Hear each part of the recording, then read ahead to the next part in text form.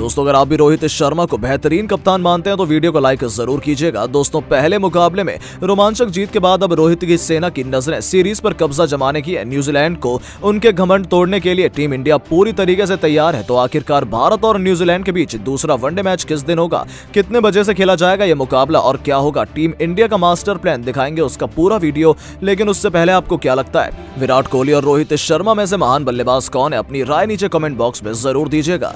दोस्तों, रोहित शर्मा की कप्तानी में टीम इंडिया इस वक्त ज़बरदस्त प्रदर्शन कर रही है। श्रीलंका का सुपड़ा साफ़ करने के बाद रोहित शर्मा की टीम ने न्यूजीलैंड के खिलाफ पहला मुकाबला खेला। इसमें आखिरी ओवर में शार्दुल ठाकुर भारत को जीत दिलाई। वैसे तो यह मुकाबला शुभमन के नाम से जाना जाएगा। जी हाँ क्योंकि इस बल्लेबाज ने न्यूजीलैंड के खिलाफ पहले वनडे में ऐसा कारनामा कर दिया जिसे आज तक कोई भी क्रिकेटर नहीं कर पाया है।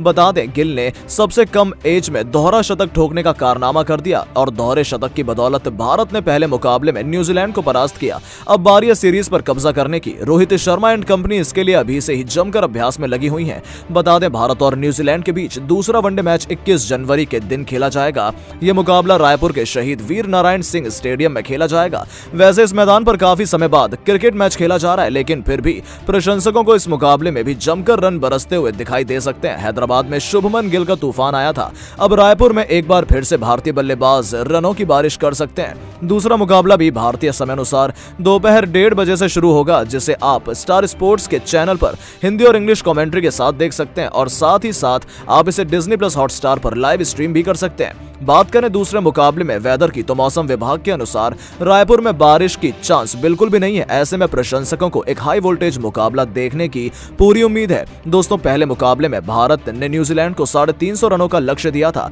बावजूद इसके टीम इंडिया आखिरी ओवर में जीत पाई और एक वक्त तो जान हालत में आ गई थी, क्योंकि विरोधी टीम के बल्लेबाज माइकल ब्रेसवेल ने तूफानी शतक जड़कर टीम इंडिया से लगभग जीत छीन ली थी और एक बार फिर से वो भारत के खिलाफ दूसरे वनडे में भी घातक साबित हो सकते हैं। बात करें न्यूजीलैंड के ताकत की तो उनके पास फिन एलन, डिवन कॉन्वे, कप्तान टॉम लेथम और फर्ग्यूसन जैसे घातक खिलाड़ी मौजूद हैं जो अकेले दम पर मुकाबला पलट सकते हैं। वैसे उनके पास ग्लेन फिलिप्स जैसा खूंखार बल्लेबाज भी मौजूद है, जिनसे दुनिया भर के गेंदबाज खौफ खाते हैं। लेकिन दोस्तों, हमारी टीम इंडिया बेहद खतरनाक नज़र आ रही है। रोहित शर्मा की फॉर्म में आ जाने से भारतीय बल्लेबाजी क्रम विश्व की सबसे खतरनाक बल्लेबाजी क्रम में से एक बन गई है। बात करें टीम इंडिया के मास्टर प्लान की तो दूसरे वनडे में भी ओपनिंग की ज़िम्मेदारी कप्तान रोहित शर्मा के साथ शुभमन गिल ही संभालेंगे।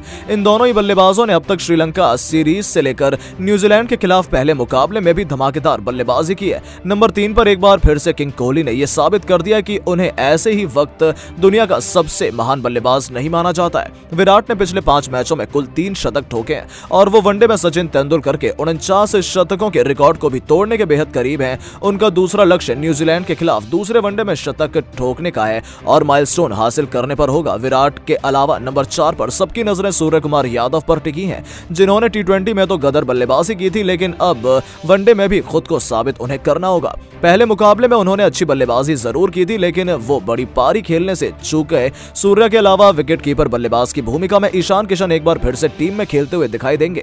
पिछले मैच में उन्होंने कुछ खास बल्लेबाजी नहीं की थी और जल्द ही पवेलियन लौट गए थे। बांग्लादेश के खिलाफ दोहरा शतक जड़ने वाले ईशान किशन एक बार फिर से अपने काम में वापसी करना चाहेंगे। इसके अलावा वाइस कैप्टन हार्दिक पांड्या गेंद और बल्ले दोनों से ही बेहतरीन प्रदर्शन करना चाहेंगे। पिछले मैच में अगर वो एम्पायर के गलत फैसले का शिकार ना होते तो हार्दिक एक बड़ी पारी खेल पाते, लेकिन अब वो दूसरे मुकाबले में और भी बेहतरीन प्रदर्शन करना चाहेंगे।